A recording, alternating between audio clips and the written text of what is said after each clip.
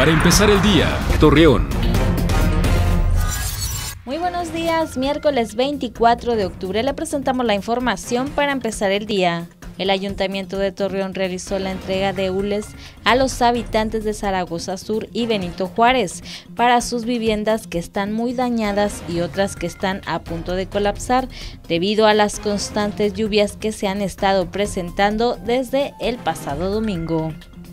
Este día la Comisión Nacional del Agua pronostica precipitaciones muy intensas para la comarca lagunera debido al huracán Huila, por lo que las direcciones de protección civil se encuentran preparadas para evacuar y trasladar a los ciudadanos a los albergues que se han habilitado en diferentes sectores. Hoy se celebra el Día de las Naciones Unidas y este día se reflexiona sobre las esperanzas, los sueños y las aspiraciones manifestadas por el pueblo, además de lo que se puede y se debe hacer en pro de la paz, el desarrollo y los derechos humanos. Acompáñenos con toda la información dos minutos antes de las 9 de la noche por Mega Noticias. Para empezar el día, Torreón.